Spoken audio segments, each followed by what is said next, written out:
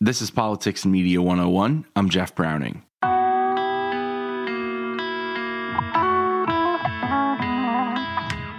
Aaron Rupar is a journalist, a close observer of the US media ecosystem, and someone who has a lot of insight into how information spreads throughout society and throughout the world. The violence in Ukraine is a reality for people who live there, but for the rest of us around the world, everything we see comes through a filter of time and opinion. It matters who in the media we pay attention to.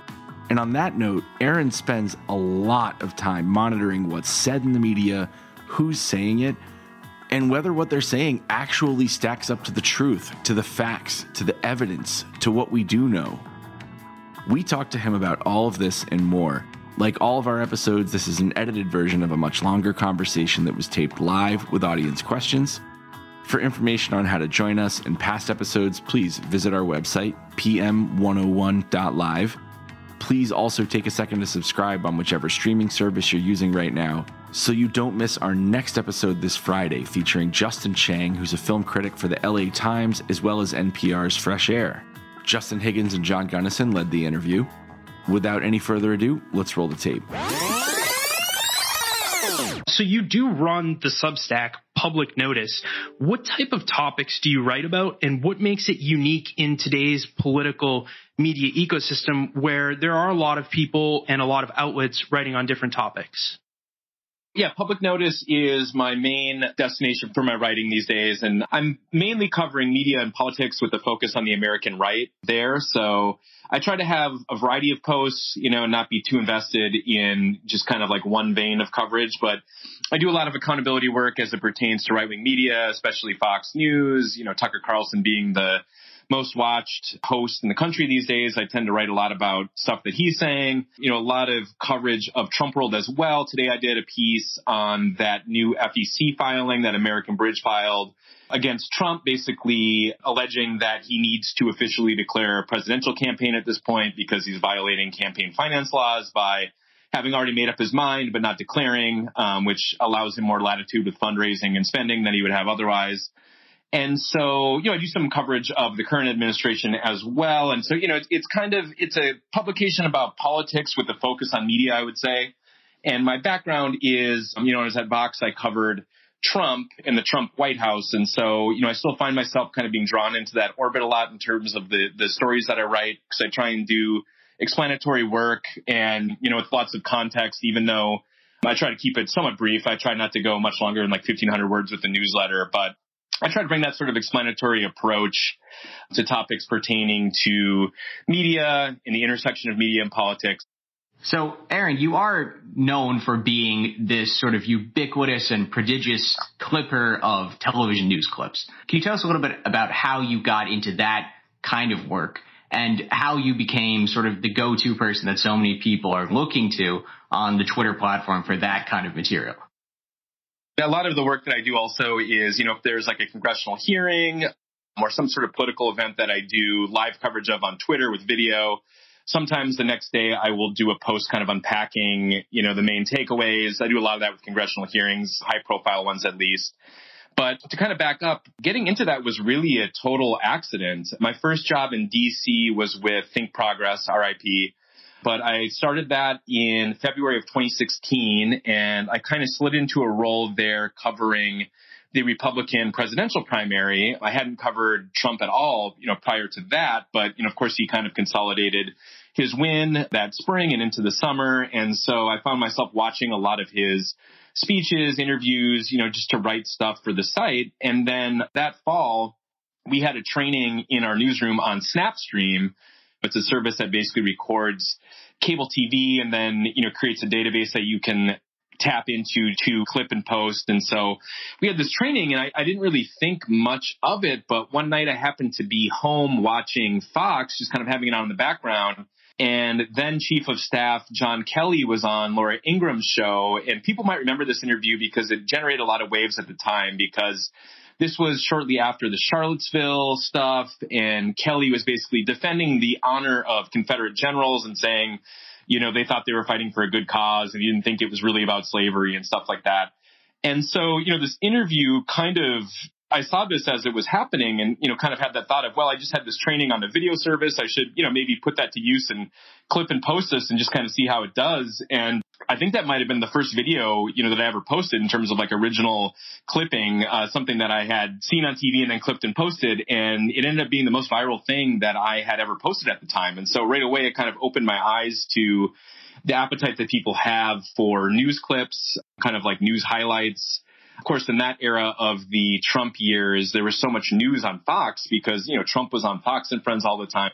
I just started kind of incorporating that into my workflow. I was an editor at Think Progress, but part of my job there was kind of like news blogger as well. And so from there, that was the fall of 2017. I kind of had, you know, exponential growth on my Twitter account in terms of followers, you know, right through the end of the the Trump era. And so, you know, it was never anything that I kind of like set out to do, but it was just kind of right place, right time. And, you know, my techniques in terms of watching stuff has evolved over the years. And these days I have a little bit less time than I used to have having a kid. I feel like I've kind of been eclipsed by like Acyn, for instance, I think is doing, Acyn is watching way more Fox these days than I am. So I kind of dip in and out of it.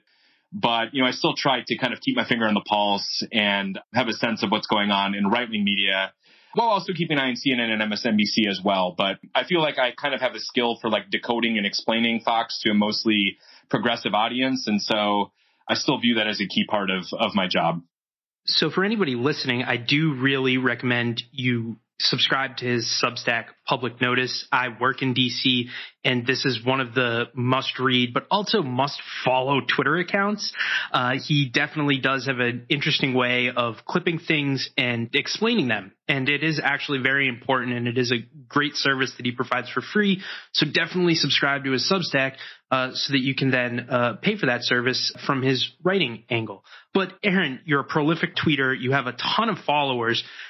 I know that I tweet into the void sometimes and I regret it, so I immediately delete it. I don't think that you could do that with getting away with it. But that leads me to my question. What is the worst tweet you've ever made? Or what is the tweet that you sent that you regretted the most and why?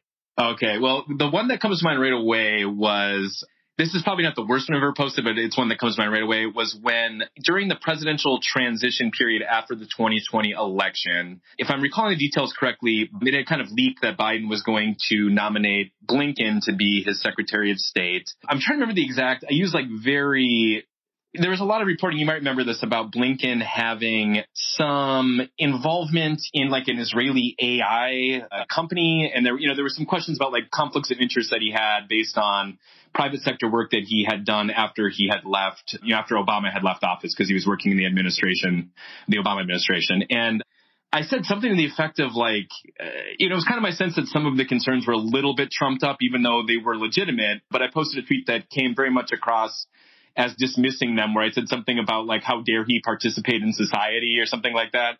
And there are people, especially in the left, who thought that this was like pretty dismissive, which I agree was, you know, kind of a bad look to, especially after all that we endured with the Trump era and, you know, conflicts of interest being a big problem to sort of hand wave. And that was kind of what I was trying to get at was this seemed like pretty small peanuts compared to what we had just lived through. But that was one that I ended up basically just having to take an L sometimes that happens. I mean, you know, there's kind of this thing in this Twitter world that we live in where um, you're able to post your thoughts um, without any filter, without any editing, and I don't think I'm by any means, you know, like a worse offender when it comes to reckless tweeting or like tweeting things that that you regret. But you know, like you were saying, when you have a large audience on Twitter, it kind of behooves you to always think twice about what you're tweeting just to make sure that it's not, you know, callous or dismissive, things like that. And that was one instance where it was, you know, I posted and then it was getting attention for the wrong reasons, like right away. But I also think when you do something like that, it's important to kind of be accountable and explain where you went wrong. You know, if you have to delete something with incorrect information, acknowledge that you did that and explain why. So I try to be as transparent as one can be.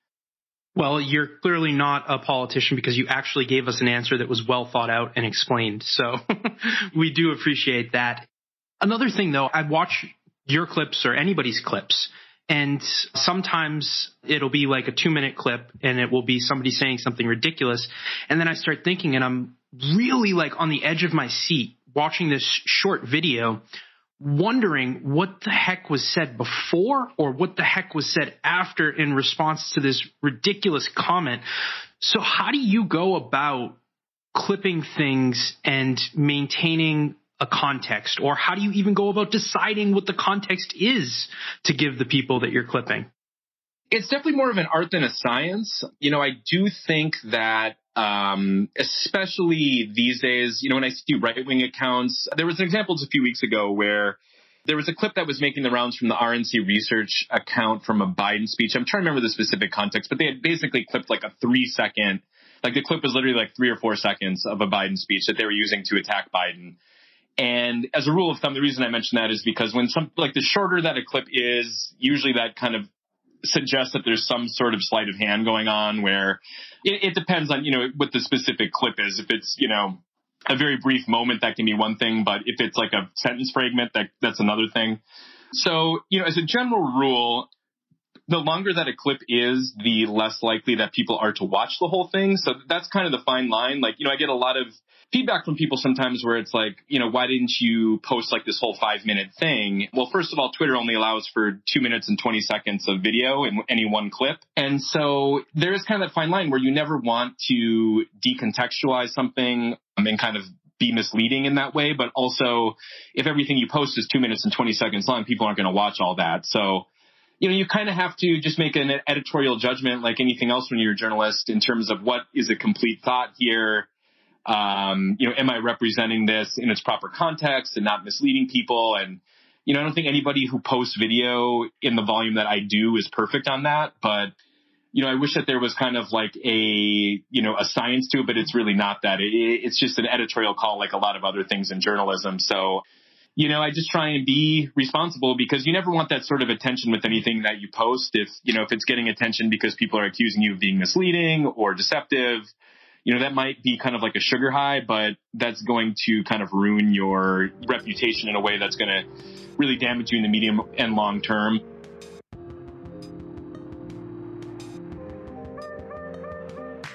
You unlock this door with the key of imagination. Beyond it is another dimension, a dimension of sound, a dimension of sight, a dimension of mind. You're moving into a land of both shadow and substance, of things and ideas. You've just crossed over into the Twilight Zone.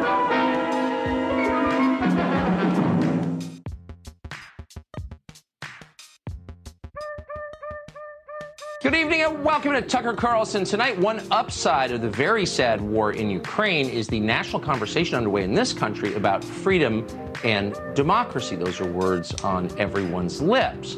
And so it set us off on a nationwide search for Americans who are living as if this were a free country, like it was, say, 1989. And one of the first people we found, we have to tell you, is Kid Rock. We spent the weekend with him. We've got an interview with him in just a moment.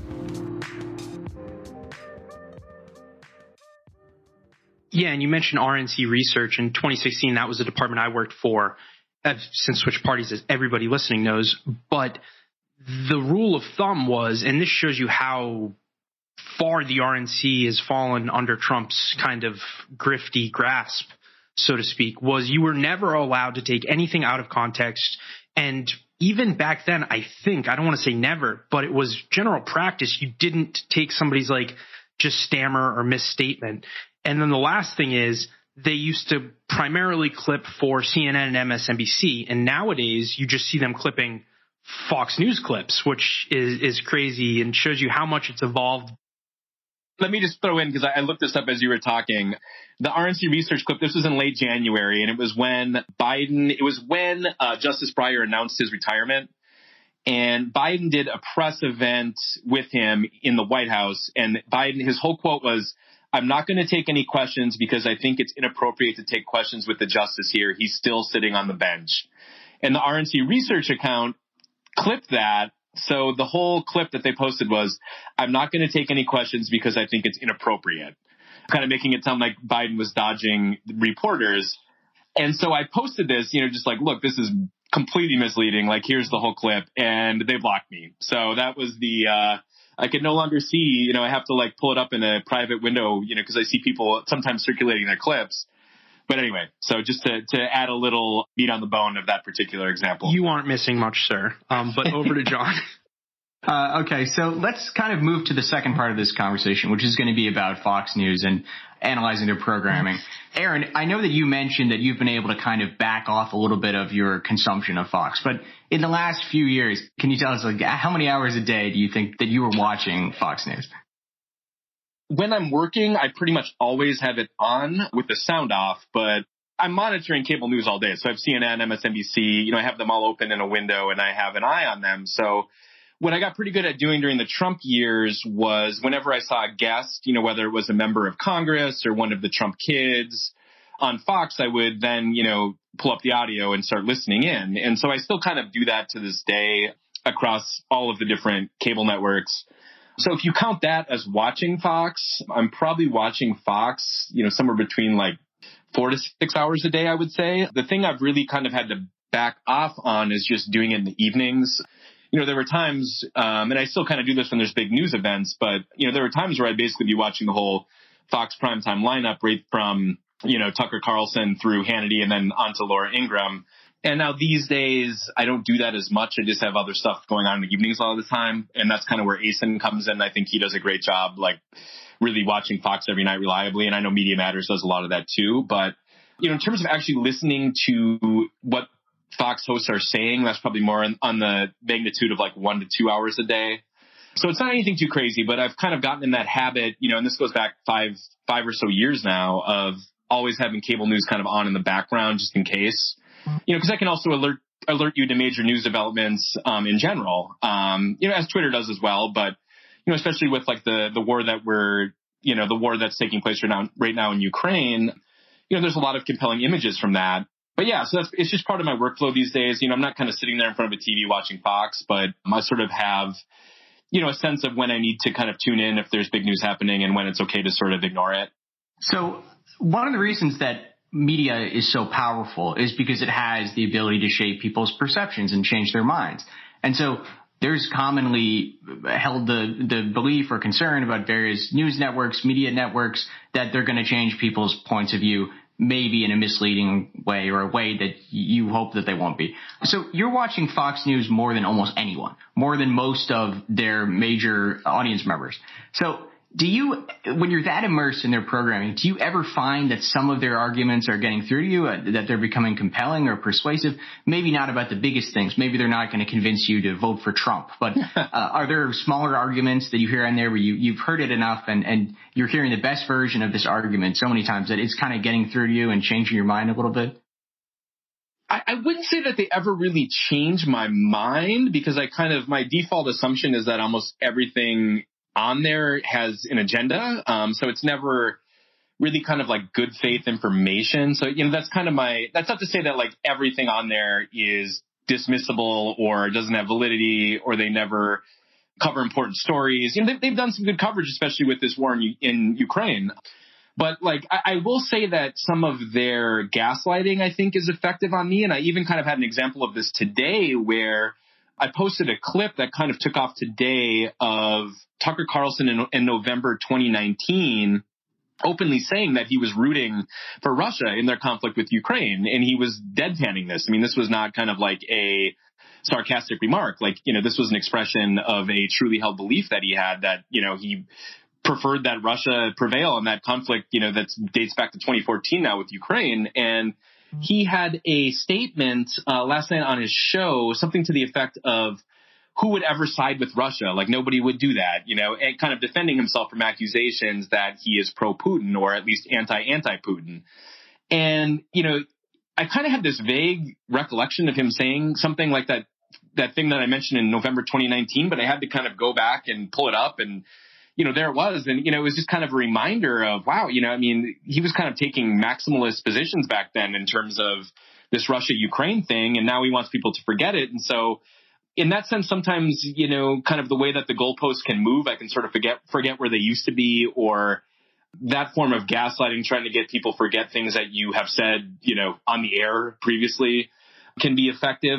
I feel like people on Fox, their hosts especially, are kind of role playing a lot of the time. So I just never really approach anything that a host says from the standpoint of them, you know, I never assume that they're trying to share good faith information. I always kind of assume that it's furthering some sort of agenda. And so when you start with that assumption, you're pretty skeptical about about everything that you hear on there. And so that's how I kind of filter that you know that's how I filter Fox News. So I, I can't think of anything. I mean, I'll, I'll keep mulling on that, and if something comes to mind, I'll definitely share it with you. But I can't think of a time that Fox has kind of changed my sincerely held views on an issue.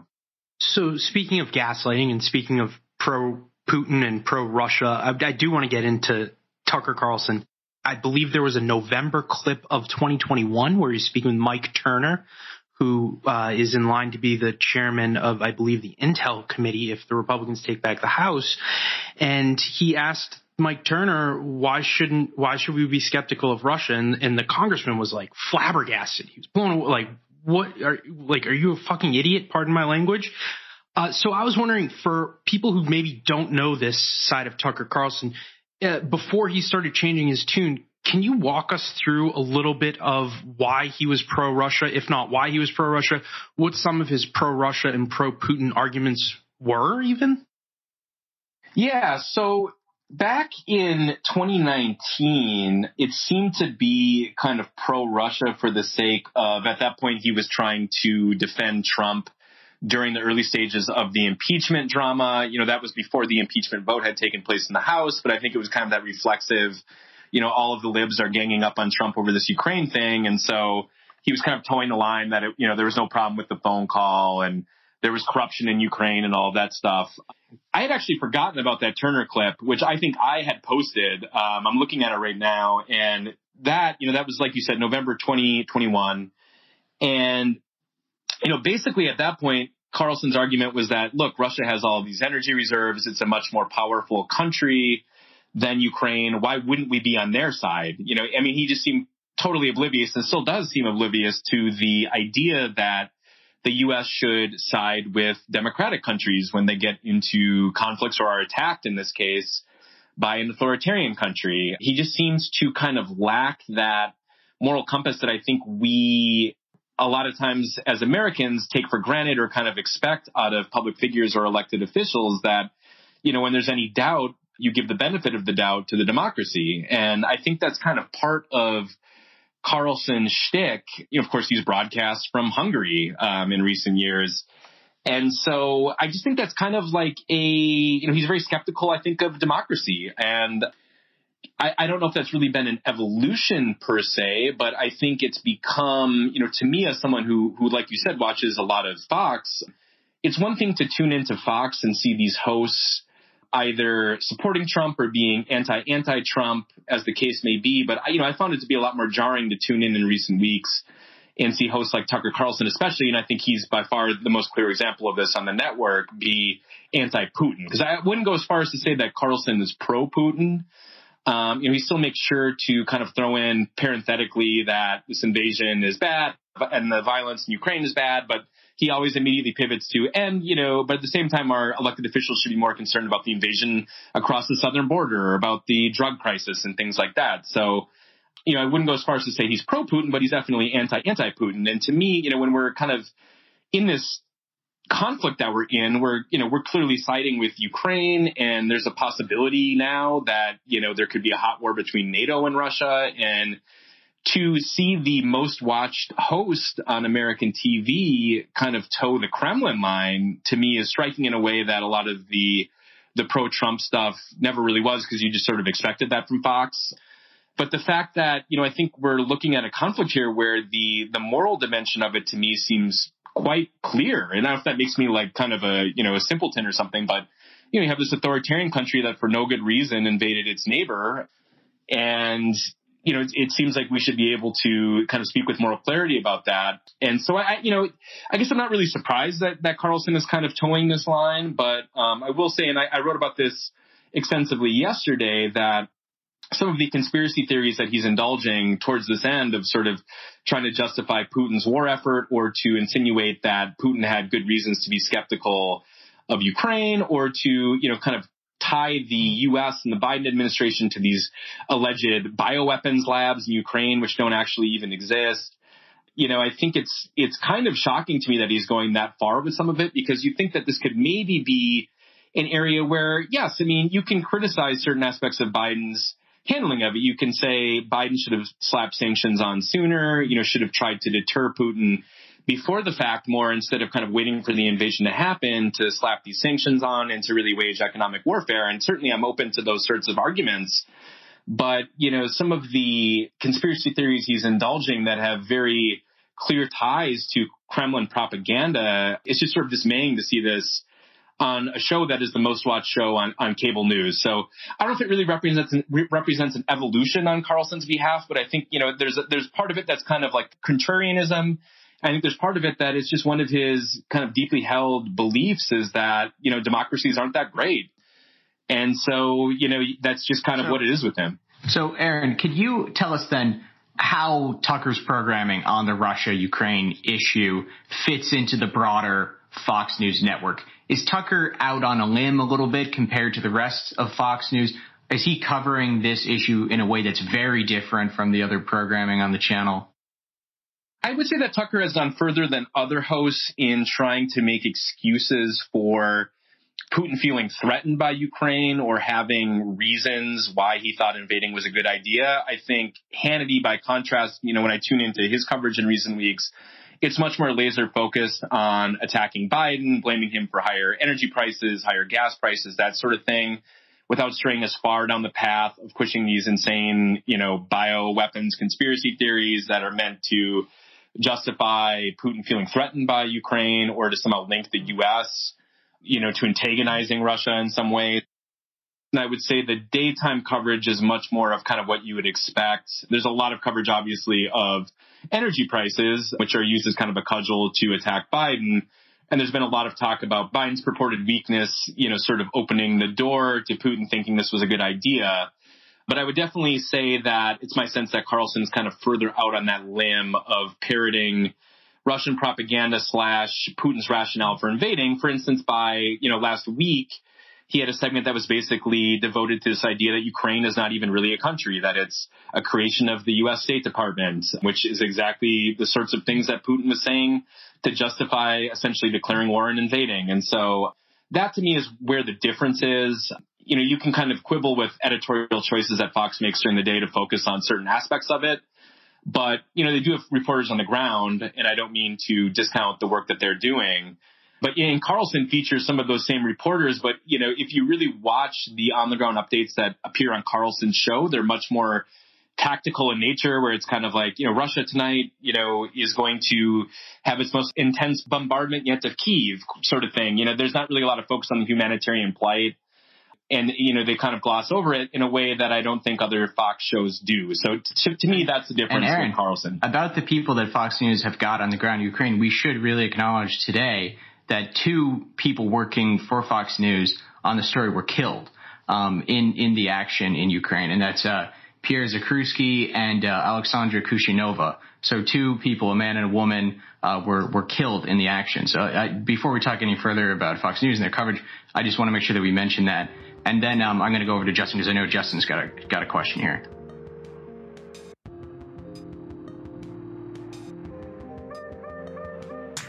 Russia called a UN Security Council meeting today to renew its allegations that it says the U.S. might be somehow funding bioweapons in Ukraine. Now, here's what you need to know. Outside experts, the United States government, and independent press fact checks have rejected that claim. So, absent further evidence, evening and welcome to Tucker Carlson tonight. If you had told us just four days ago that the Biden administration was funding secret biolabs in Ukraine, of all places, we would not have believed you. Yeah, I don't think we're going to put that on TV. No thanks. Then, if you told us that not only did the administration fund these secret biolabs in Ukraine, but that they then failed to secure the deadly contents of those labs before the Russian invasion, an invasion they knew was coming, an invasion they helped encourage, if you had told us that four days ago, we'd have dismissed you as a nut. It was just too preposterous. We would not want anything to do with a story like that. There was no way it could be true. It's too far out. You've just crossed over into the Twilight Zone.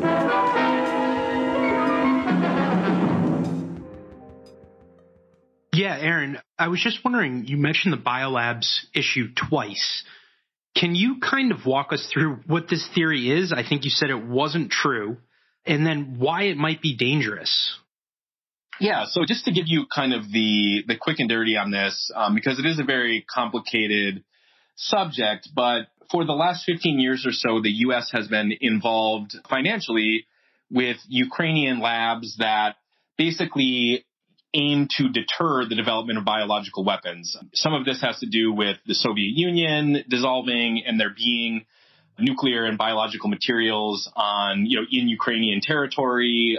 And some of it has to do with public health research, you know, and there's labs like this all over the world. It's not a secret um, that receive funding from the U.S. and that, you know, U.S. researchers are involved with.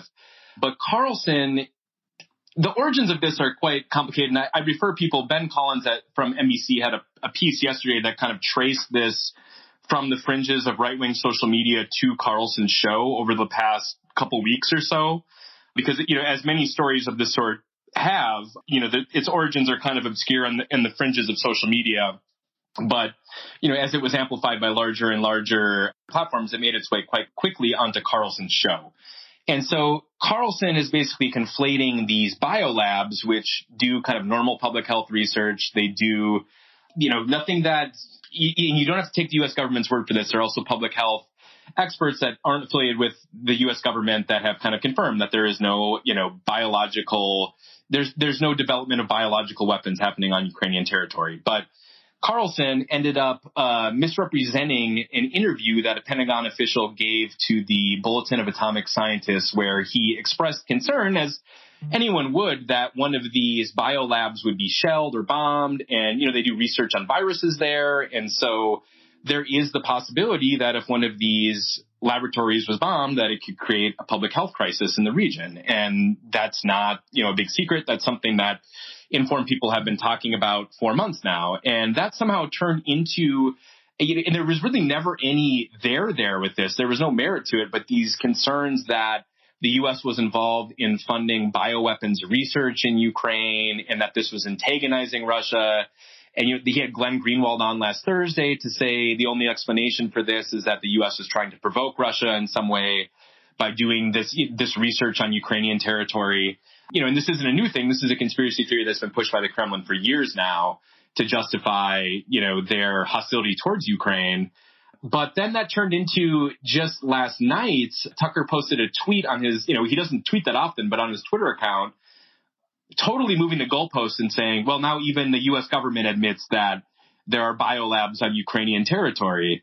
But he spent all of last week talking about bioweapons.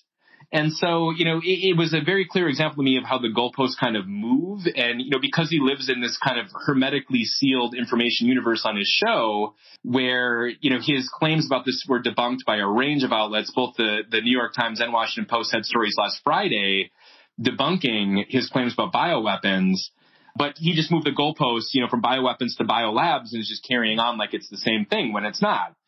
And so I think that's part of the way in which he sort of in, insults the intelligence of his own viewers, where I think because it's kind of a complicated subject, it's sort of an ideal one to just lie to people about and trust that they're not going to actually look into this on their own. But the core idea, to me at least, I mean, there, there are kind of a couple things. One is that it seemed to sort of provide some sort of rationale for why Putin may have felt threatened by Ukraine, number one. But then number two, by kind of shifting the terrain from Russia invading Ukraine into this weird controversy about the U.S. being involved in the funding of biolabs in, in Ukraine, you know, it gave him kind of a pretext to change the story into one where he can attack the Dr. Fauci's of the world and sort of discredit, you know, public health officials and, you know, Biden administration officials. And so to me, it kind of represented, you know, instead of him feeling comfortable just kind of covering the story as it happens in Ukraine, you know, everything has to be in kind of this universe of us versus them and, you know, the deep state and, you know, and so to me, it was just, an, you know, I, I interpret it as an attempt that he was making to, to kind of reposition the, the story of Russia's war on Ukraine into terrain that's more comfortable for him and that makes for more compelling adversarial TV but you know, the whole, like I said, the, this whole thing about bioweapons seemed to basically be Tucker misconstruing quotes from Pentagon official in the Bulletin of Atomic Scientists and just kind of trusting that his viewers wouldn't actually do the research on their own to figure out that he was basically lying to them. And it's all conspiratorial, or or Tucker lying to them. And as you know, the real danger is that it could give Russia pretext for a false flag, where they then use bioweapons and point to these non-existent bioweapons labs that people, freaks really, like Tucker Carlson and Glenn, Glenn Greenwald, are going on Fox News and lying about. So I, I, did want to ask one last question. We're running a little long, so we'll try and keep you for five extra minutes or so, depending on if you have a heart out for the audience.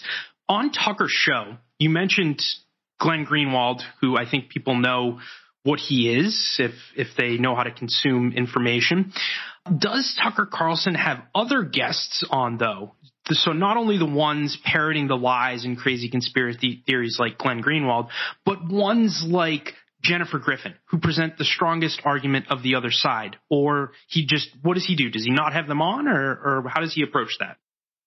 I feel like he used to more, you know, he, he used to, that used to be kind of a part of the show is that he would have uh, liberals on there to kind of argue with him. And I feel like he hasn't done that as much. I mean, maybe the best example of something like that recently was the the clip that you mentioned earlier when Mike Turner went on there. And, and if people haven't seen that, you know, if if you search Mike Turner under my Twitter account, you'll find the clips. But you know that that kind of turned into a pretty spirited back and forth where this Republican congressman, you know, who's a Mike Turner is a fan of Trump. I mean, he's not like a Mitt Romney or Liz Cheney, but you know, he was on there kind of articulating sort of a standard U.S. foreign policy line that, you know, of course we should be on Ukraine's side. You know, Russia's the aggressor here. They're an authoritarian country that's kind of coming up with weird pretexts to have a military build up. And, you know, of course we're on Ukraine's side. And Tucker was really pushing back on that. But there's been some interesting stuff surrounding Jen Griffin on Hannity's show where, you know, she went on there once a couple weeks ago and debunked a couple false claims that he had made earlier in the show about the situation in Ukraine. And then after that, he would still have her on the show, but he would have her on like right away, like within the first three minutes of the show. So she wasn't able or to have her on in a situation where she couldn't really debunk things that he would say later. So that seemed to be kind of a notable editorial shift. But Tucker doesn't really have her on. He will have on like Trey Yingst, who's one of the Fox News reporters who's in Ukraine. But again, it's for very kind of matter of fact news updates. You know, he's not really asking them to provide any sort of commentary and they don't really engage in any sort of back and forth that would provide opportunity for pushback. And, you know, as close as he comes to having, you know, dissenting voices would be like a Tulsi Gabbard or a Glenn Greenwald because, you know, people still think of them in some, you know, at least some people kind of think of them as not being conservatives. And of course, people probably saw that Philip Bump of the Washington Post did a, a post last week where he described Glenn as a right wing pundit, and uh, Glenn had quite a memorable meltdown. You know, there was like a a multi tweet you know explosion on Philip Bump for describing him as a right wing pundit. You know, in the, in the Washington Post. I mean, he used to have Representative Ro Khanna on during the Trump years, but I have not noticed that as much lately. That's actually I hadn't really thought about that, but it seems like he mainly has people on these days that agree with him my friend at Media Matters, Andrew Lawrence, roasted Ro Khanna for going on the show, and Ro has not gone on it since. So uh, we will go over to Mr. Gunnison.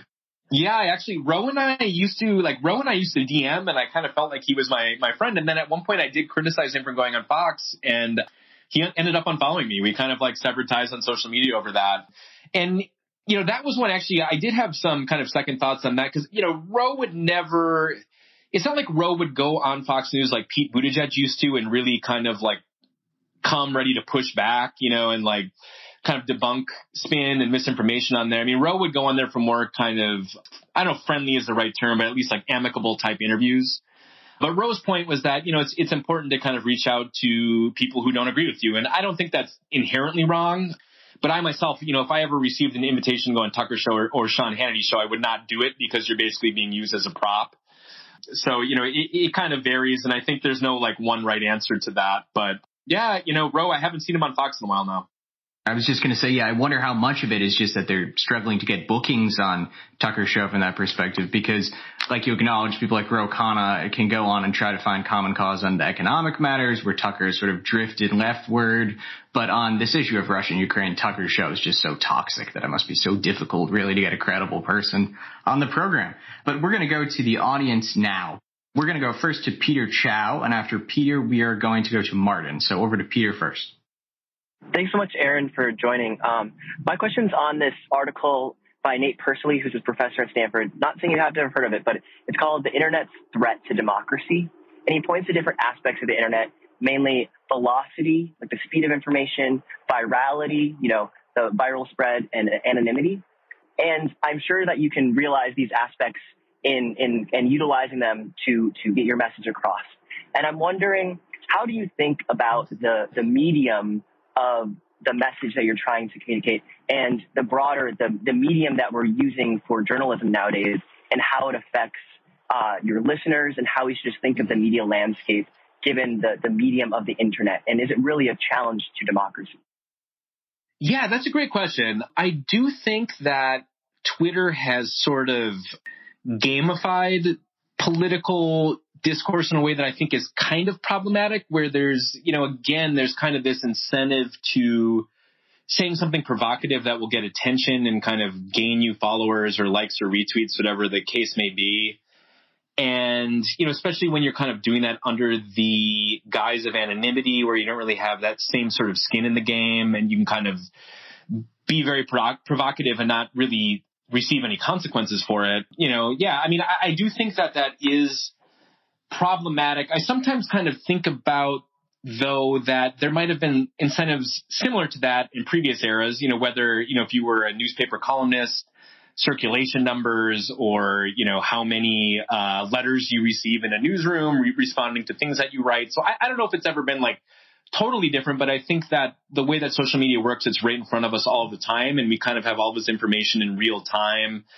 And, you know, this has been something that you know, and this is no discredit to my former colleague, Matt Yglesias, who I, I, do think does some really thoughtful and good work, but some people might remember this. He had, he had a tweet, um, where I believe it was in reference to something he wrote on the lab leak theory, where he basically kind of prefaced his tweet that was sharing a story that he wrote saying like, I found that this sort of stuff is really good for readership, you know, and it was kind of giving away the game where it's like, well, you know, you really shouldn't be making editorial choices based on what resonates with readers and what drives in more subscribers and things like that. And, you know, there's, I, I do have some cognitive dissonance some, sometimes with that being on Substack because, you know, obviously Substack is kind of known for contrarianism, for, you know, people like Eric, uh, Alex Berenson who are kind of, um, spreading misinformation. And there's, you know, it creates kind of perverse incentives in some ways where, if you, you know, say something really provocative, it brings more attention, it brings more subscribers, it brings more money. And so I try to be resistant to that and kind of do my thing as I know that I should and have integrity and kind of cover things that I think are important, regardless of whether or not they will bring in more subscribers. But, you know, Substack is kind of a little bit of a, a separate thing, I think, because, yeah, I mean, I think Twitter has created some, you know, some weird incentives in that way. For me, because my name and, you know, identity is attached to everything, you know, your reputation is on the line all the time. So, and when you're working in journalism, that's a really important thing to kind of preserve and protect and try and maintain. But yeah, I mean, I do think there is something problematic about how social media has kind of gamified our political discourse. I don't pretend to have any like great answers to it, but you know, it's just something that I try to be aware of as I make judgments on what to post, on what to write, what to cover, all that sort of stuff. Thank you very much, Peter. We will go to Martin and then we will go to Aram. Martin, over to you. Two part question. The first part is what do you think has led to the success for Harris Faulkner? Uh, she's the only black woman that I know of that has a uh, daily uh, cable show on any cable news channel, and she's on Fox. She's one of the uh, few black journalists on a daily news show anchoring her own show, that is. And then lastly, what's your take on where Supreme Court Justice Clarence Thomas' wife has landed in, in mainstream media is definitely on the side of maybe putting her hands on a thumb of scales of justice. But I haven't seen anything from Fox about that. Yeah, thank you. That, those are both really interesting questions. I mean, with, with Harris Faulkner, that's really interesting because I guess I've never really, you're totally right that I think she's the only like regular black host on Fox. They do have some people that occasionally will fill in, but yeah, in terms of like being on TV every day, I mean, she's very good on TV, no doubt. I mean, and, and actually she worked for a time in the Twin Cities market with, I believe it was KSTP television here. So she does kind of have like she's known in in Twin Cities journalism circles as being like a local TV anchor before she made her way to Fox. I, I you know I I don't think it's anything especially racial with her. I just think that she to me she's kind of in the same sort of realm as like an Ainsley Earhardt.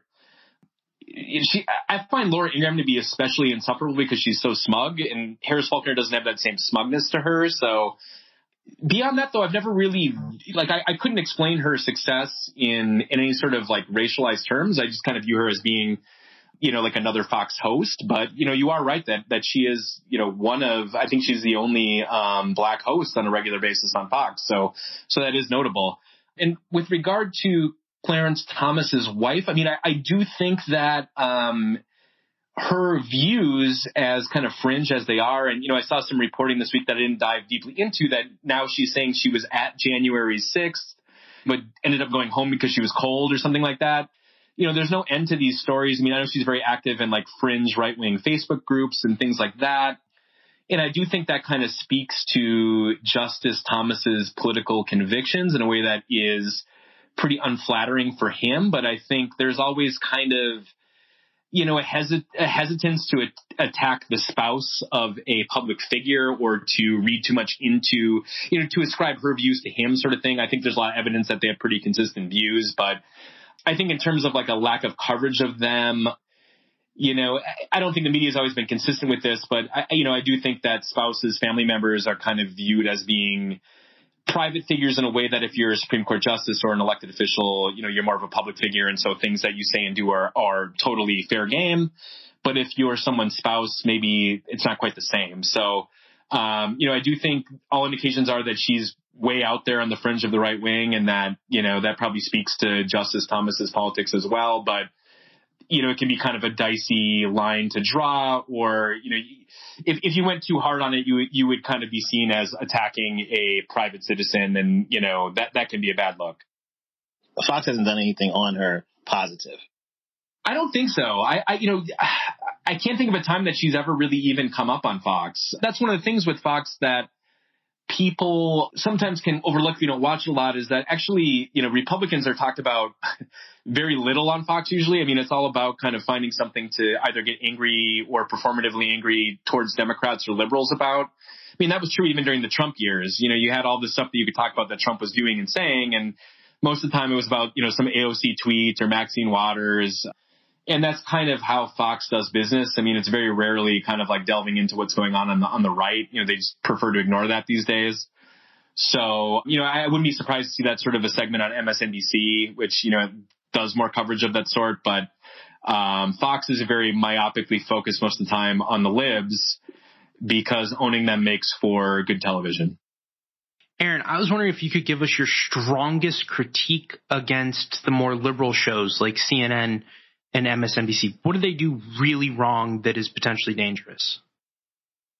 Yeah, I mean, it's hard to kind of like that level of generalization. I mean, you know, again, like I think a guy like Jake Tapper does really good work at times, but I will say that like I've definitely noticed recently with Tapper that he'll go really, really hard on Democrats because I think that kind of builds his credibility in the sense that, you know, I'm people perceive him as being liberal, but it's like, you know, I'm really holding these Democrats to account. I'm going to ask them tough questions.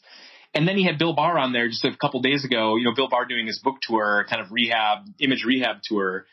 And it was just a remarkably kind of weak interview, you know, where he was kind of just in the, you know, Barr said a couple things that were just like completely absurd that Tapper, and I posted clips of this on Twitter. One, Barr said that he views the left as being a totalitarian threat to the country, you know, and Tapper just kind of let that go. And there were there were there was one more you know there there were a couple times where Tapper just did not push back on things that Barr was saying, and so that to me, I don't know if that's really like satisfying along the lines of what you were asking, but I think there is a you know, both on MSNBC and on CNN.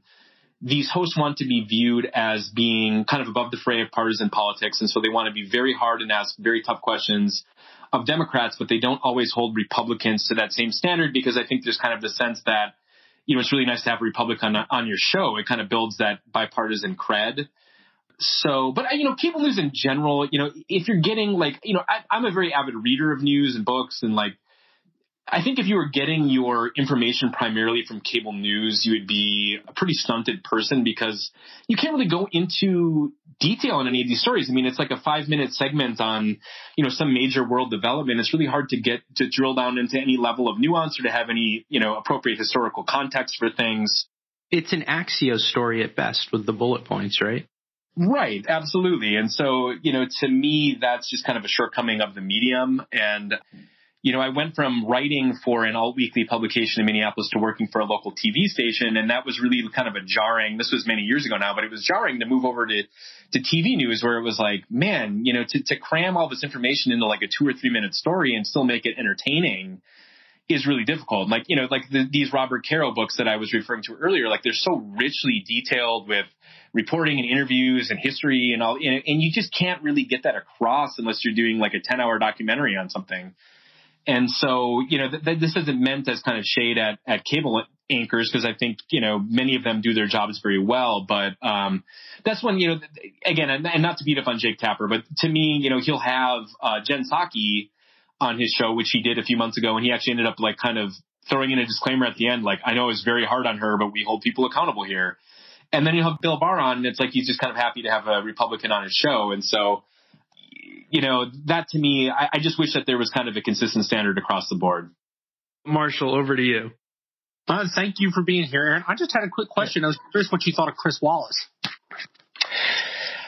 Yeah, so I was probably more of a fan of Wallace than most progressives because his show, and I've, I've tweeted this much, you know, when he left that um, I thought it was really kind of a big loss for Fox because he at least was a voice on Fox that I thought had some degree of integrity. I always thought that when he kind of veered into punditry, that was when I kind of had to turn him off, you know, because a lot of the times it was kind of the standard right wing talking points, but he would have Republicans on his show and ask very tough, kind of probing questions about their past votes.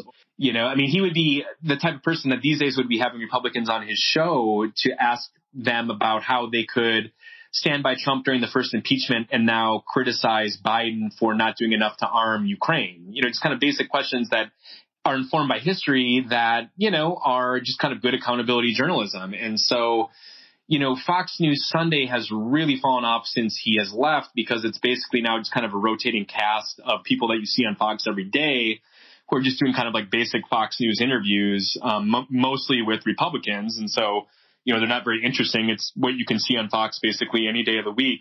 So, you know, we'll see what happens on CNN with his show. But to me, I thought his voice was a lot more valuable being kind of like the, you know, sort of a different type of voice on Fox rather than being just kind of like another, another person on CNN because one of his superpowers on Fox was that he could book a Rick Scott or a Ted Cruz or Marco Rubio and ask them tough questions because they would go on because of the Fox News brand and you'll never see Ted Cruz or Rick Scott on CNN, um, or at least these days you wouldn't. So, you know, I'm not sure who he's going to really get to go on a show. If he ends up kind of being able to run it back in terms of getting those same types of guests on the show, I think that could be kind of a valuable addition to the CNN family. But if it just turns into another Jake Tapper show, you know, I, I don't. I, I think he was he was serving a more valuable function at Fox doing that than he than he will be at CNN. And in general, I'm kind of skeptical of this whole CNN plus streaming thing. I, I just don't know how many people are really going to be willing to pay for that. But time will tell. I know. I, I think his show is debuting pretty soon, right? So yeah, the proof will be in the pudding there. But I mean, I'm an avid news watcher, and I'm not going to watch any of these shit on these streaming services. Pardon no, no, I, and I don't really plan to either. And, and that could change. I mean, if they end up getting a lot of really, you know, high profile guests and there's a lot of news, I'll be willing to pay for it. But uh, you know, we're just so saturated with that sort of thing right now anyway that I don't feel a compelling need to like shell out even more money to to pay attention to that too. But uh, you know, again, if it ends up being a source of news, then yeah, then I'll happily pay for it. That's all we have for you today. Again, huge thanks to Aaron, to our audience for their questions, and to you for being here. As a reminder, like all of our episodes, this is an edited version of a much longer conversation that was taped live with audience questions. For information on how to join us in past episodes, please visit our website, pm101.live. Please also take a second to subscribe on whichever podcast streaming service you're using right now so you don't miss our next episode this Friday, featuring Justin Chang, who's a film critic for the LA Times and NPR's Fresh Air. This has been Politics Media 101, produced in partnership with Clubhouse. I'm Jeff Browning on behalf of Justin Higgins, our co founder, and our team. Thank you very much for being here. We hope to see you and hear from you soon.